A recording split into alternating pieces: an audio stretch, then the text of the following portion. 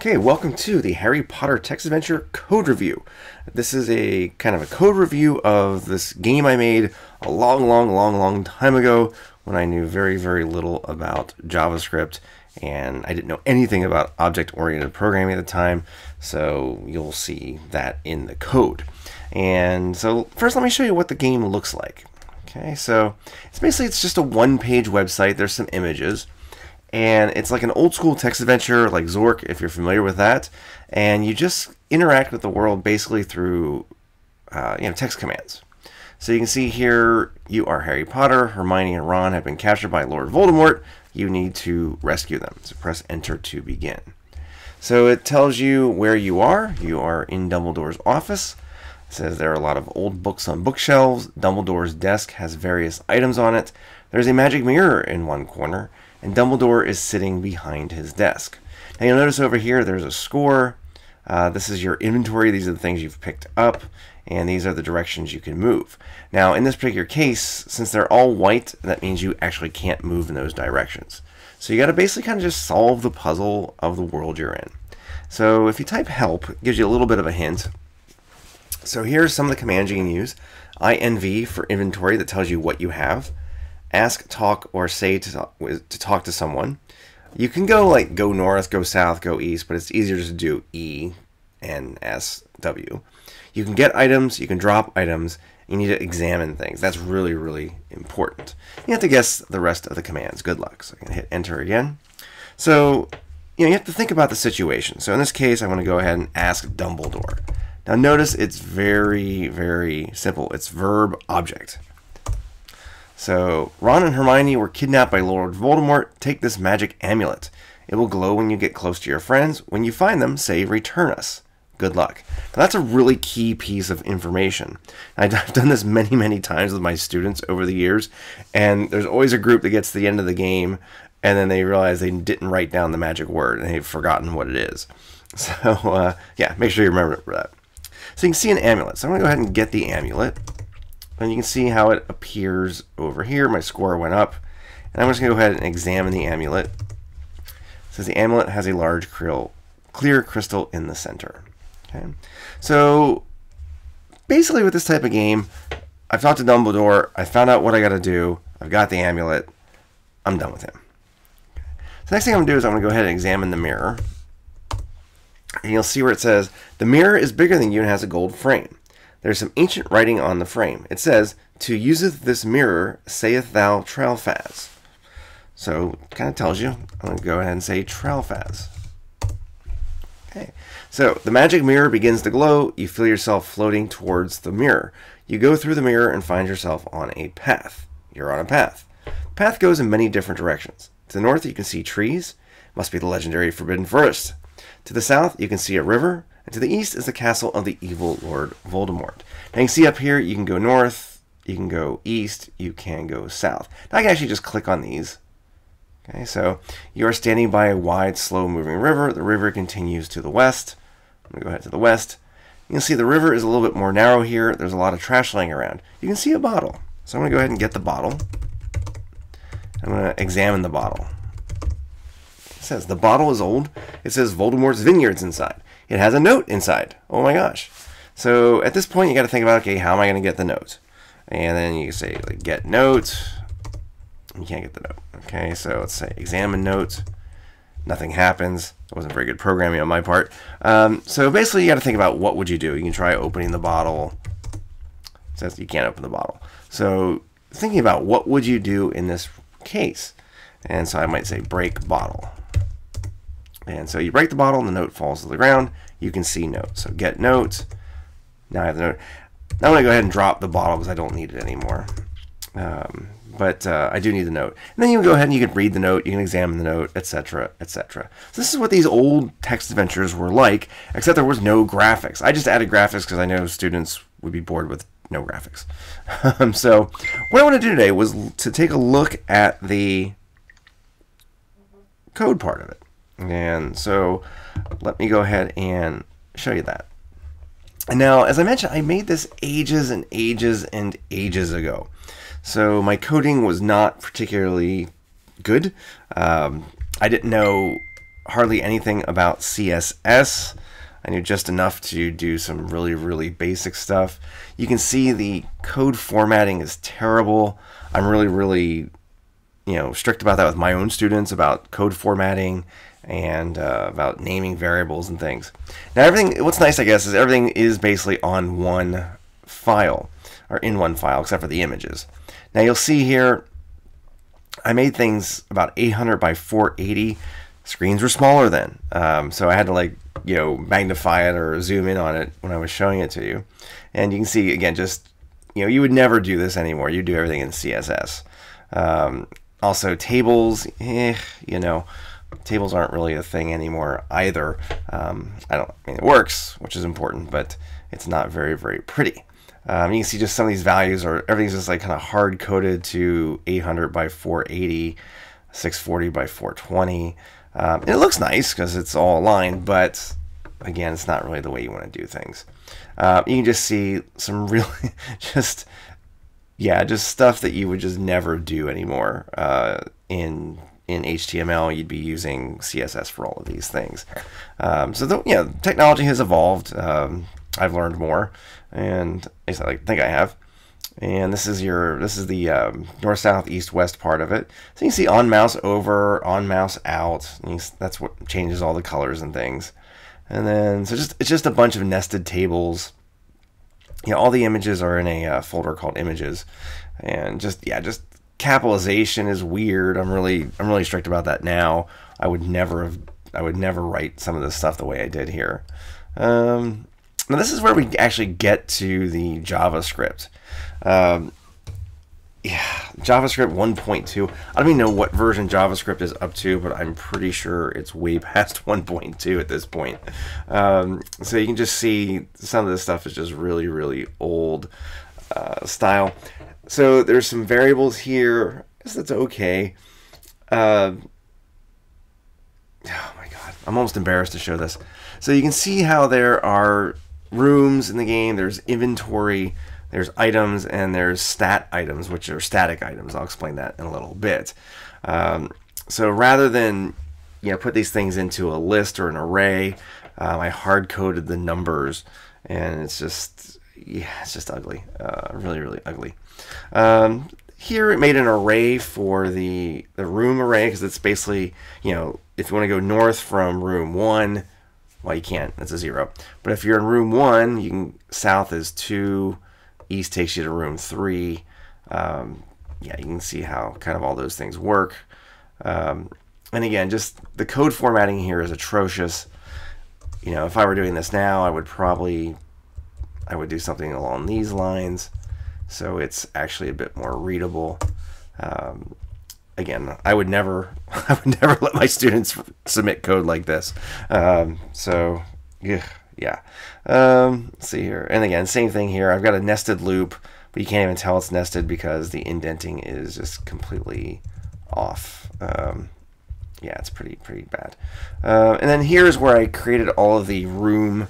This is basically the room array, and this is where you know. So if you're in room one and you want to go, I think north, you can't go because it's a zero. Um, yeah, so basically this this is like Dumbledore's room, right? So zero, zero, zero, zero. You can't go anywhere from Dumbledore's room. Also, notice I um, started with room one because the zero was being used for no room, which I guess is an okay decision. But uh, you can see here, these rooms you can actually go up and down. This one you can only go probably down. This one you can probably only go up, or you can go up from that room. So this is basically the array that controls you know where you can move. Um, again, I just probably would not do things like this anymore. Um, so these are the scores. So there's some you know there's some puzzles in the game. So for example, you saw earlier about the note. So if you get the note, your score is five. You get five extra points for getting the note. Um, you get five points for getting the amulet, for example. You get five points for, I think, for smashing the bottle as well. So you can see there's quite a few things you have to deal with. You have to figure out in the game. These are the scores. Now, what I would do now is I would create some sort of object, and so like each object in the game would would have a class, and so it'd be like you know item class item, and so the item each item like when you get it would have a score if it's if you want to have a score. Otherwise, it would be a zero. Um, and then I use then I use these flags. Um, so flags are just like you know they, they hold the state of some sort of object. And again, I would do this in uh, a, class now as, as an object oriented style. Um, um, let's see here. So like for example, you know when you get the bottle initially, it's closed. Um, I think once you get it and break it, the state is then broken. So depending on what its state is, you know, if it's closed, oh, there's a note inside of it, blah, blah, blah. If it's broken, then, you know, obviously there's no note inside anymore. And then here's where we have an array for items, uh, for images. Let's see, L, item L. Uh, this is location. This is I don't even know. This is another thing I tell my students. Um, description, item, item location, item description, and item name, item image. So I have four different arrays for to, to contain all the, the information for each item. And again, I would do this in a class. It would just be so much easier. Again, you know, the indenting here is, is terrible. Um, and you can see here, this is where I define all of the different items. Um, so item zero is empty. Um, item one is the amulet, which we saw earlier. Item one's image is amulet.jpg. And then this is the description for that item. And when you start the game, the item is in 88. Now, I don't know why I did this, but 88 was like it didn't exist. I don't think there's I don't think there is a room 88. I think I just used that number to represent like no place in the game uh, because like it doesn't exist until Vold- or until uh, Dumbledore gives it to you. So these are again at the time this is this was my level of coding ability. Now I got a lot of this from actually from some book I forget what it was like 101 computer games or, or something like that how to program an RPG uh, or an old school RPG I forget what it was called. Um, so this is like really I took like a basic program not not basic as in simple but the programming language basic and I adapted it to JavaScript. Um, so again, so we've got all these different items. Again, the text, these, or sorry, the stuff is not indented correctly. God, this is horrible. Um, so here are the static items. Now there's items, uh, which are things that you can get and not and you know, carry and that sort of thing. These are all the different things you need to get in the game. And then there are static items, which are things that you can't get. Like you can't get Dumbledore, you can't get the mirror, um, there's a troll in the game. You can't get the troll. Um, so you can see all these different things that you interact with, but they can't be moved. They're, they're stuck in a particular location. Okay, so again, just some uh, indentation problems. Oh my god. Um, this is just some of the worst things that I've ever written. So RO is the player's room. So this is where the player is located. So when the game starts, the player is in room one. Um, again, I capitalized that. Ugh. Um, I should have just typed room or player room or player location. Um, I just, yeah, the, the, the, the variable names in this is horrible. Um, and then I made these keywords to see if the computer actually understands what the player is has typed. So this is the keyword. So this would be like get bottle. Um, OK, OKW would be the object keyword. So like there'd be get bottle or something like that. So does it understand the keyword? Does it understand the object? And then the player score. So same thing here. I would probably make a player object and that player object would have a score attached to it.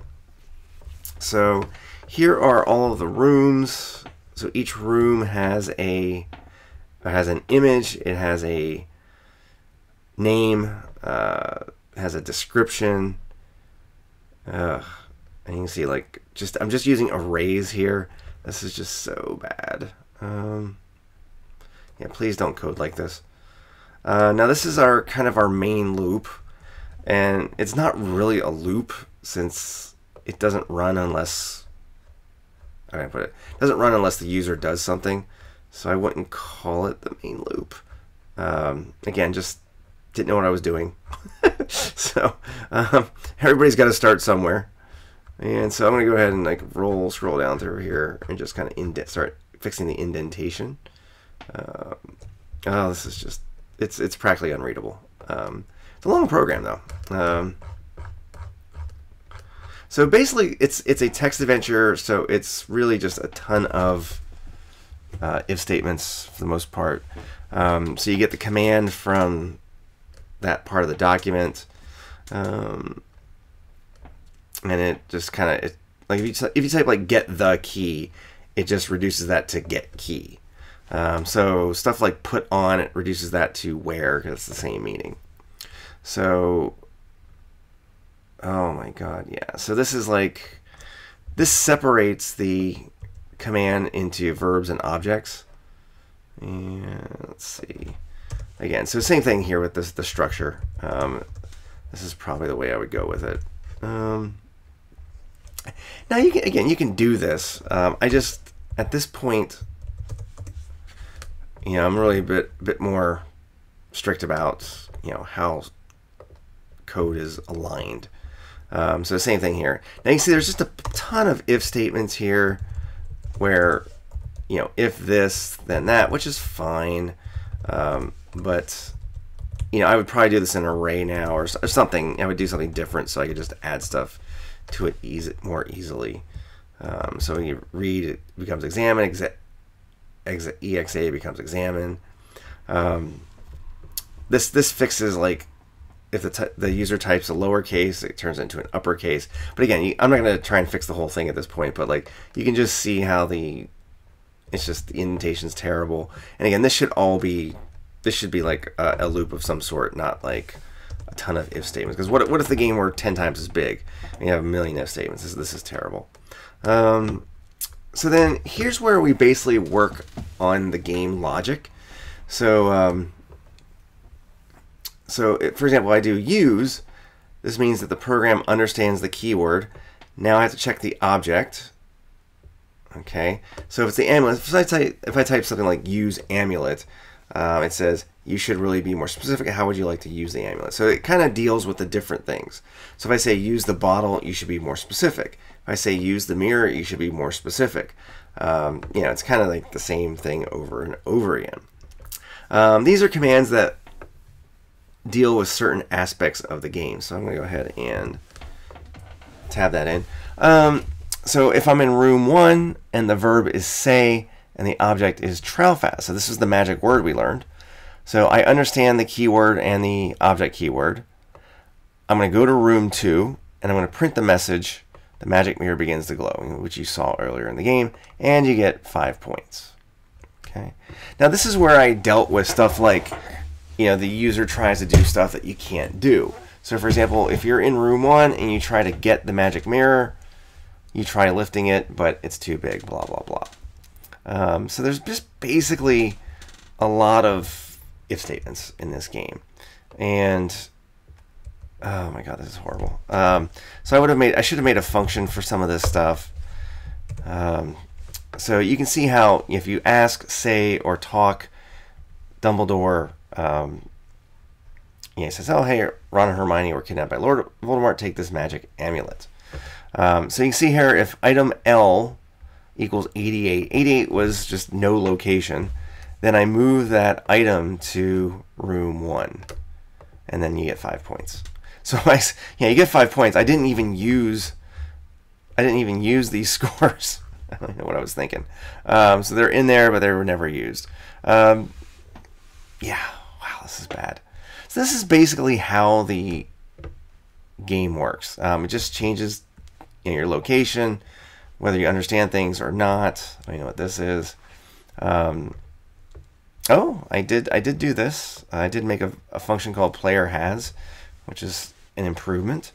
Um, but you can basically see how the game functions, hopefully from here. Um, so you can see how we use flags uh, and things like that to determine whether or not the game works, uh, or whether or not something is in a certain condition. Um, yeah, I think I'm going to stop there. This it's just this is just it's embarrassing. Um, but you get the I hopefully just from watching this a little bit, you get the idea that you know what what kind of badly written code looks like. Um, it's not formatted properly. You know, you're using tons of arrays where you could be using objects, which would make your, your program much, much simpler. Um, you know, these variable names just don't really make a lot of sense in, in certain cases, like RO for room, um, which is where the player is, and just, yeah, it's just, just really, really bad. Um, a lot of this stuff should be, you know, put into functions and organized by, at least organized by functions. Um, yeah, that's it's that's about it. Um, oh my god, this is terrible. Uh, yeah, so uh, I'm just gonna I'm just gonna stop there. Um, as I said, this this has been my uh, first video in like six months. So I guess I'm a little rusty, but uh, hopefully uh, you got something out of this. Uh, if you'd like to play the game, I'll put a link down below uh, to my website where you can kind of try it out. and if I get get get around to it, I'll put a link where you can actually download this and, and play with the code yourself and maybe uh, improve the game. It's it's it's a, it's a pretty fun. I think uh, my students really enjoy it. So uh, anyway, uh, that's it. Uh, thanks for listening and uh, keep on coding. Take care.